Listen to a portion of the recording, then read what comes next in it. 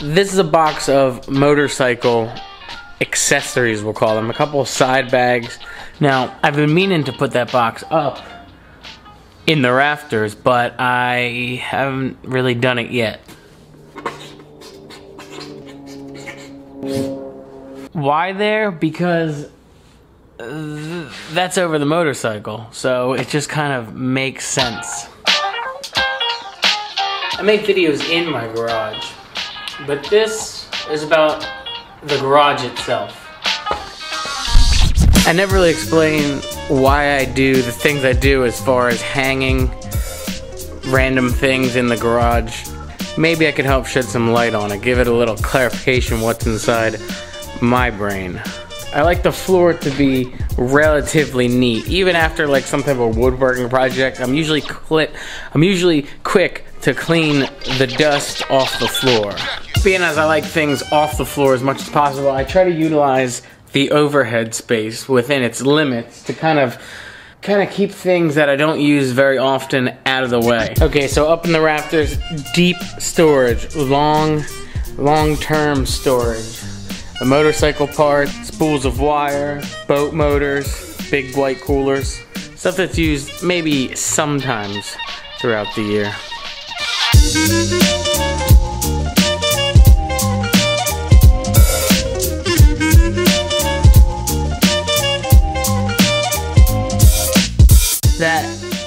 Back wall here, well, uh, it's like a side wall. The wall where the house meets the garage. The interesting thing about that wall is it used to be covered in the original siding of the house. When we moved in, the fire inspector said, no, take that siding off because it's way too flammable and put up drywall. It used to look really cool. I mean, it was like you'd come out the door and you were outside, but also inside at the same time.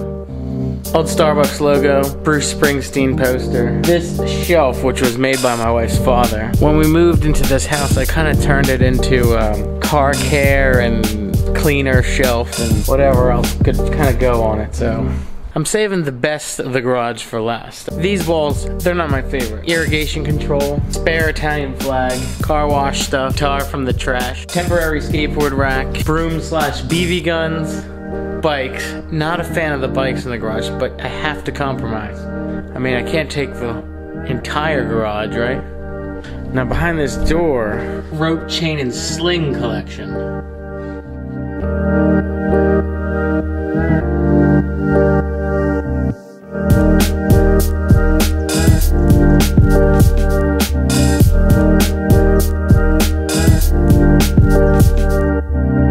Trash cans. Trash can wall. Now, I don't need three big 96 gallon trash cans in the garage, but it's really just the best place for them. It is convenient when throwing woodworking scraps out and things of that nature, so.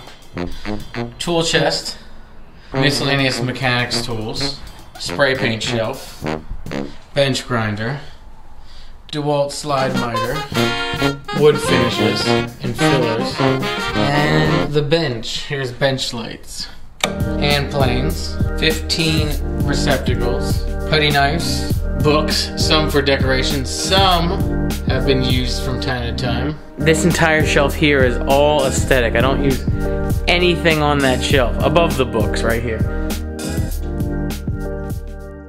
Stereo system with a passive subwoofer and 3.1 audio. Right there. And right there. Bose Model 100s. I think that's what they're called. Worm drive, uh, some stuff, benchtop belt sander, little vise, mini fridge, uh, mostly just seltzer in it.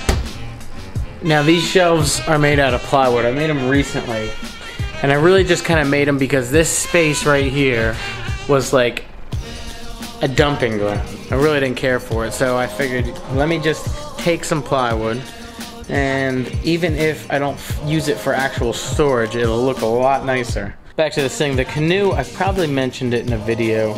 It was made by my wife's uncle, and it needs to be refiberglassed. It needs kind of a fair amount of work, and I just couldn't see it get thrown out. This is the fastener shelf. It's kind of organized. screws are with screws, nails are with nails, but that's about it. And this is miscellaneous hardware here. It's really supposed to be like nothing on it's hidden, so you can kind of, you don't have to rummage, you just browse, look. Now, up top here is where I have tools that I use somewhat frequently, but not too frequently. The tools that I use the most as far as carpentry goes are all down here. Pneumatic nail guns, wet saw, sander, miter saws. The name of the game, I, I don't like, I really don't care for those super neat and clean woodworking shops in pole buildings where, you know, everything is just like store-bought wooden shelves or manufactured metal shelves. I mean, I can appreciate it to an extent, but I really like the warmth that like a haphazardly decorated shop provides. Now, at the same time, I really am kind of OCD about keeping it clean out here. So, I like it overly decorated, but super organized.